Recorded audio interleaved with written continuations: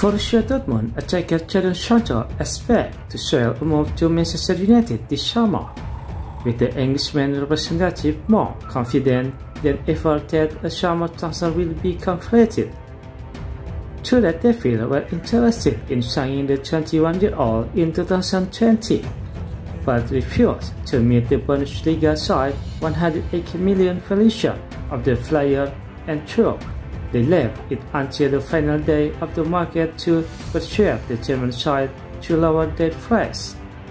United eventually turned to Amad Diallo.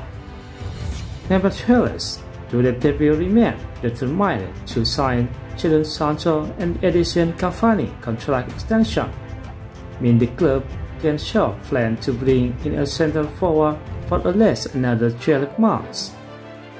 That considering Ole Gunnar Solskjaer creature flexibility with the summer transfer kitty and his to spend the bulk of it on cheddar. Borussia Dortmund have rediscovered from in the last week to boost their 10th of the year out Champions League finish, but the club are no longer in the negotiating position they once were for the star.